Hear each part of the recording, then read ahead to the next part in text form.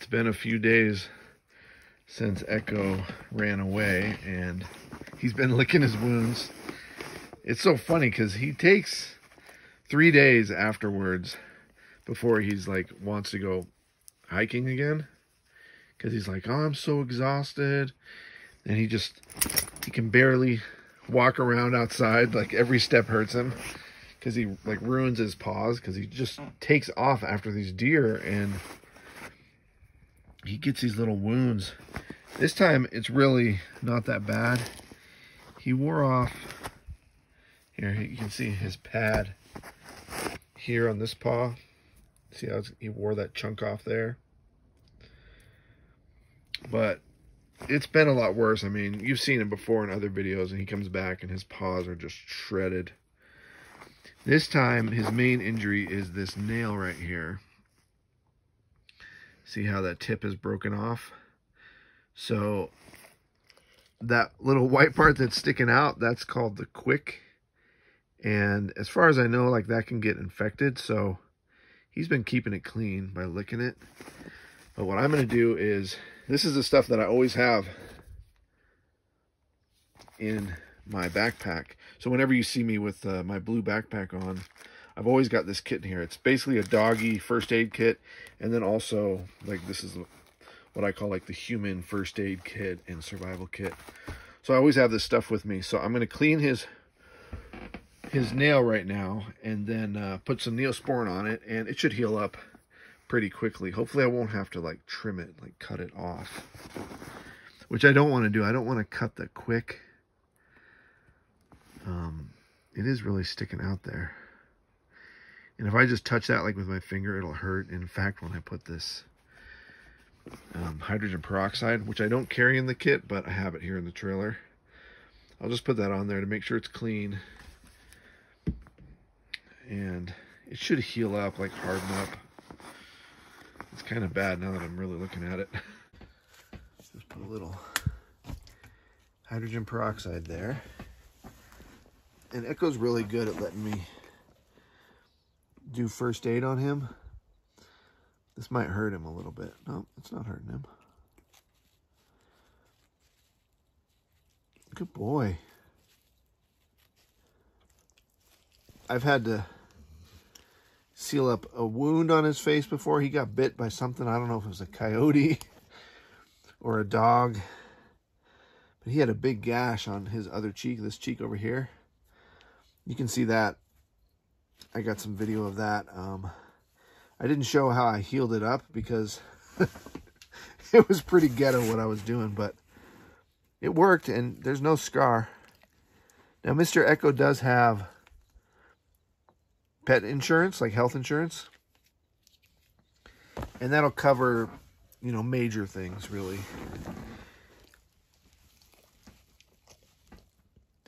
Um, so, you know, I can take him to the vet for small things like this, but I, generally I don't. I have taken him to the vet for an eye infection. And they just gave him some medicine and it healed up after a couple days. And of course, he goes at least once a year for a checkup and he gets his vaccines, his shots. There, I guess that wasn't on camera.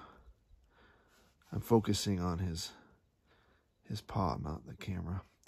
And I could put a little bandage on there. Yeah, good boy. Good boy. He's doing really fine. He's acting like kind of like a baby right now. I mean, it, it probably hurts, but you saw me just putting that on there and he didn't really wince. And he was walking around pretty good today. So in another day or two, he'll be fine. If he's still kind of limping on that, then I'll I'll wrap it a little bit, and that should be fine. It's a rare moment when the dogs are right next to each other. I love it.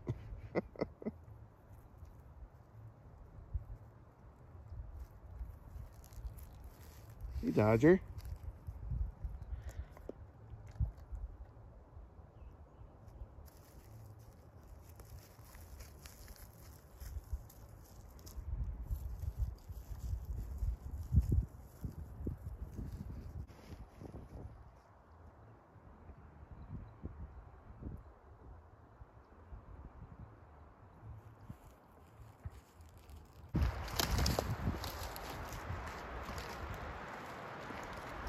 Echo, no. No. Yes.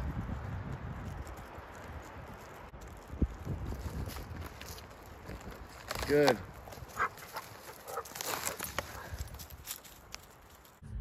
It was super peaceful here. This has like been such an unpopulated area. I mean, you've seen it in my videos. There's really only been me and one other camper here for quite a while. We've had many days here of basically just pure silence. But it's the weekend right now, and this does happen sometimes. When you think you have like the most awesome campsite, it, uh, you know, these people now that you're going to see, they're not doing anything wrong, but their motivations for being out here are just so different than mine, right? They're partying and they have families and they're having fun. They're not doing anything wrong. But my motivation for being here is like I want peace and quiet and simplicity and like, you know, no distractions, no loud noises. And let, let's go outside and you can see what's going on here.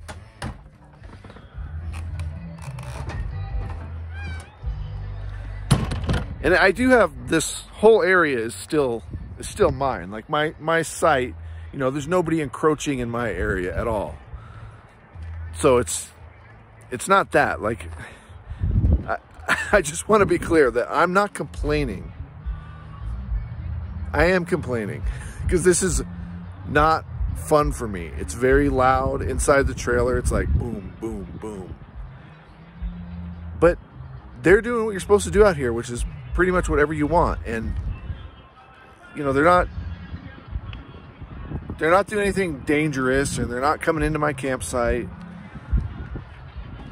There's ATVs just, they just keep going back and forth in front of my camp. And they're not using any of the other roads for whatever reason. They're just driving back and forth in front of my camp. There's probably like, there must be 40 or 50 people over there camped together. So they got their their music. Their it's I mean it's pretty loud. Um, and then they got the ATVs. They got their side by sides. They got their dune buggies. So it's very it's very noisy, and it goes on till pretty late at night. It's just it's really I'm just showing this because this actually really rarely happens that a bunch of noisy people people come in.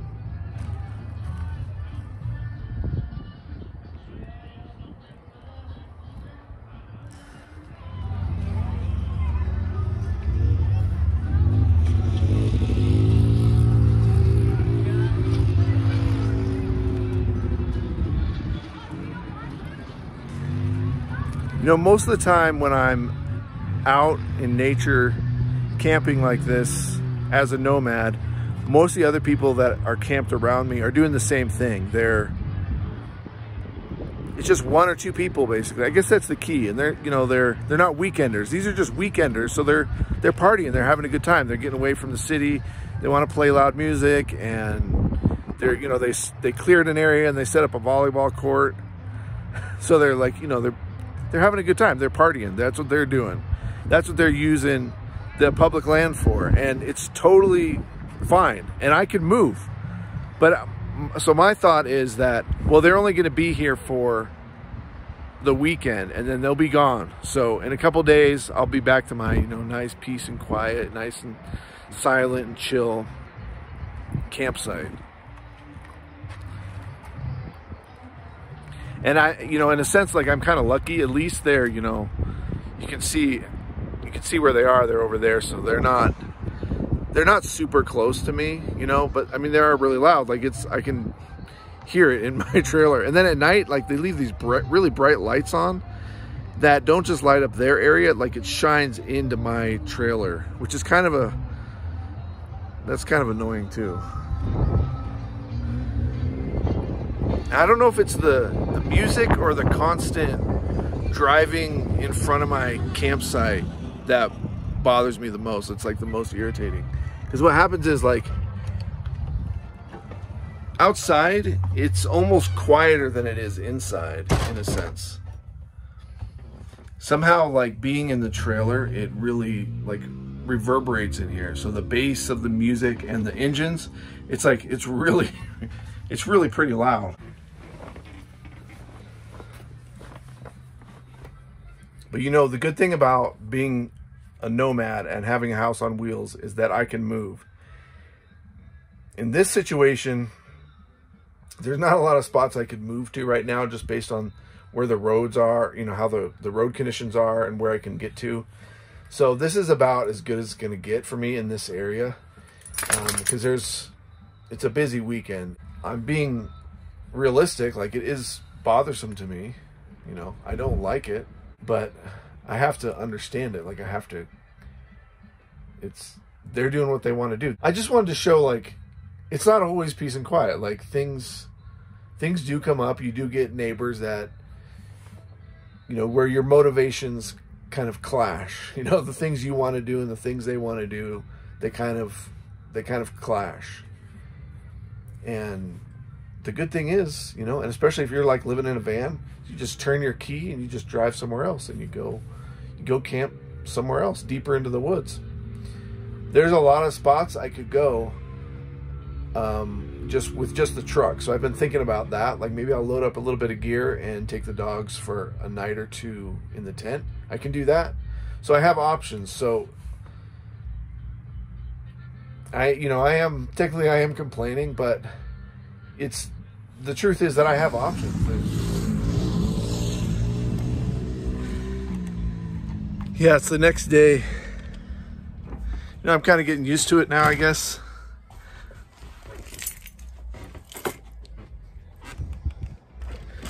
The noise. The music. They were playing music last night till like four in the morning.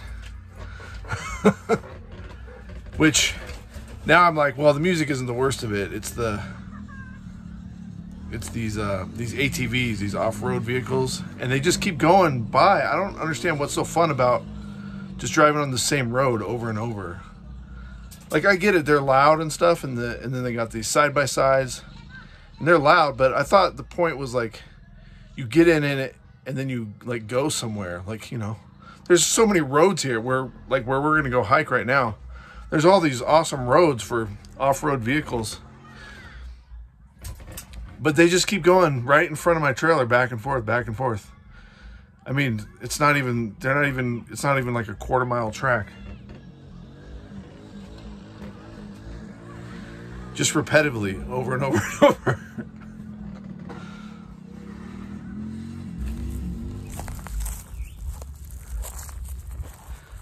I feel kind of bad because like I'm being such a fuddy duddy about like people just having fun and doing their thing you know, they just have a different, it's a big group of people, so they, they just have a different idea of how they want to use their time out here. And it directly conflicts with how I want to spend my time. I only have to endure this for one more day. I mean, I'm hoping, right, that they'll be gone tomorrow. But it's kind of a good reminder of, you know, if I was living in uh, a city, like in a house or an apartment, then you have neighbors and they're right next to you. And you don't know what they're into, like how loud they're going to be or how obnoxious or what they're doing is conflicting with what you're doing. And being out here on the road, you just have this constant ability to move, this constant freedom. You got to keep an eye on Dodger. There he is. He's right back there. But if you're stuck in one place, you know, you're paying rent at that one location, then whatever your neighbors are doing, it's to, you know, it could potentially directly affect you. You know, if they're smoking, if they're just loud, you know, louder than you, if they play music, having parties. You know, whatever it is, if they're like in a band or, you know, practicing their trumpet.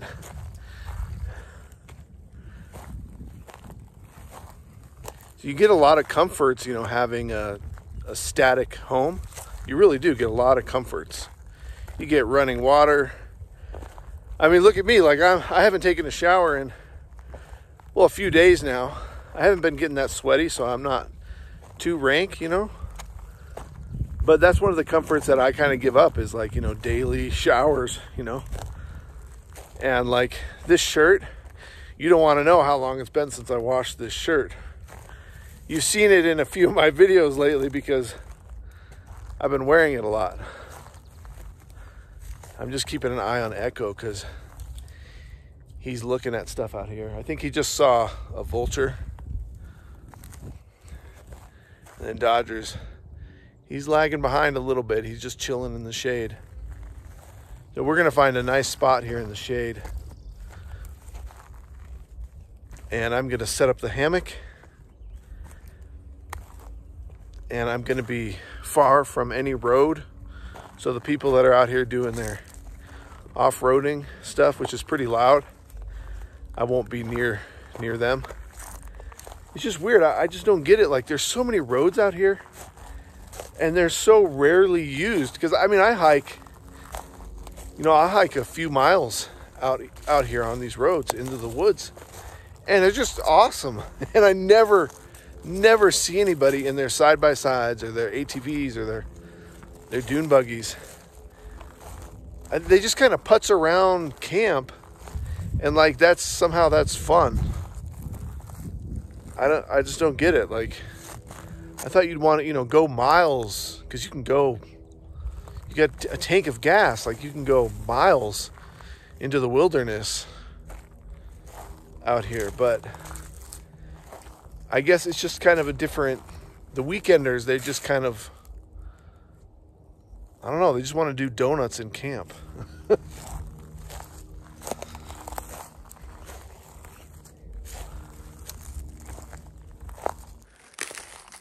so when you're hanging a hammock, I got like a few a few tips that I like to follow. You know, a day like this where it's full sun, I want to have the hammock set up where it's pretty shady. And you would think like right here with these pine trees here would be a good spot. I mean, these are great trees to hang a hammock. But if you look down on the ground, there's not a, a whole lot of shade. It's not completely shaded. And if you're laying out here in the hammock, you know, for a couple hours, the shade is going to move around. And it's kind of hard to think like mentally, like where is the shade going to end up over the next hour? So one of the techniques I got is you look for a deciduous tree. They're lower to the ground and you know, see, see how it bushes out more. So you're gonna get a lot more shade around that area. And then if you look, the grass, see how you got this tall grass here? I mean, it's just a, it's just an indicator that that little area right in there gets a lot of shade. So if I set up my hammock where the tallest grass is, you know, I have a good idea that I'm gonna have a nice shady hammock spot. One of the things that I don't like is rocks on the ground when I'm setting up a hammock. Mainly because if I fall out of the hammock, whether it's because of my own clumsiness or I set up the hammock wrong and like the straps break or something like that, you don't want to land on rocks. So that's a kind of the main thing I, I think about.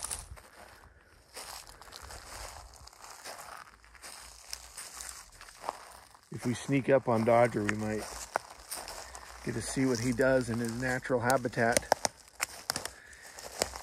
You know he hates being on camera, but he's just out here eating grass. He's being a good dog.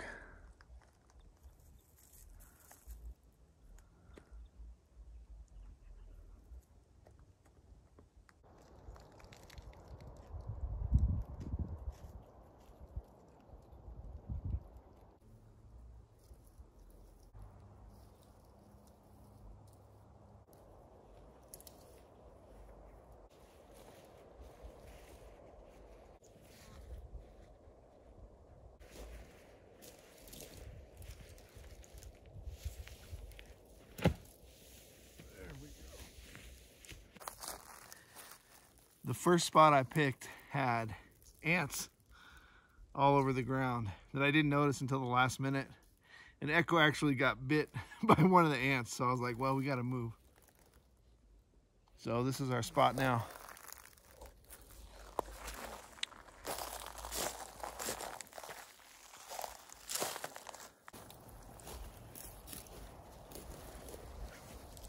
Good boy. Good boy. Good boy. Good boy.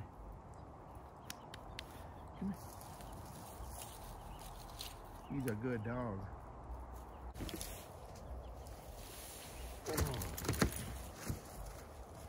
Dang, it's so much quieter out here.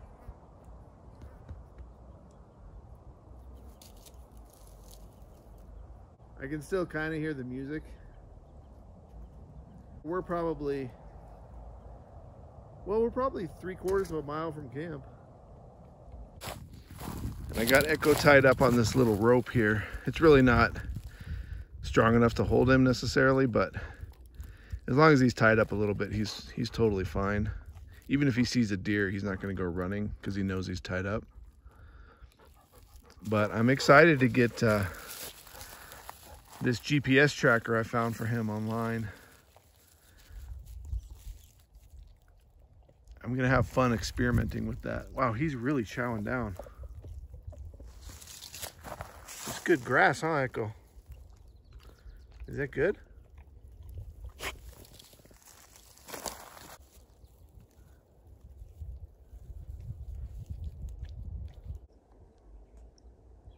Well, Echo got up into the hammock with me. I guess the bugs are out. And they seem to go to him first. These little tiny flies. He was jumping around, acting all goofy, and then he clambered up in here. He scratched me a little bit. He was so excited to come up here. But now I'm seeing the bugs. And uh, they will bite me too, so... I don't know if we got to move or maybe just head back to the trailer. You want to go back to camp? Let's go back to camp. Come on, you gotta go. Oh, oh, Jesus.